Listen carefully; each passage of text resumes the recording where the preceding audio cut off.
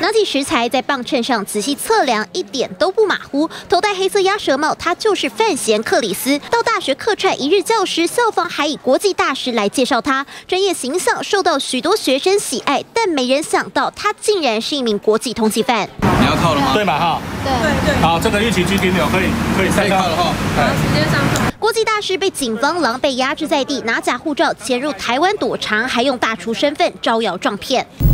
开设的厨具店吸引不少粉丝上门，以国际名厨之姿在台打出名号，更多次登上媒体版面。通缉犯的身份，整整十三年都没人发现。四十四岁的克里斯是名通缉犯，在美涉犯、商业窃盗罪以及逃离监管罪。九十六年时，他持加拿大冒领护照从美国来台湾找女性友人，期间使用派 check 假名，还找人合伙投资卖烹饪器材。结果因为对女友施暴遭通缉，判刑八个月，加上冒领护照，一共服刑十个月。五月二十二日遭到驱逐出。同时，也通报美国的洛杉矶警方，在机场，诶，也将这个范闲逮捕，并且羁押。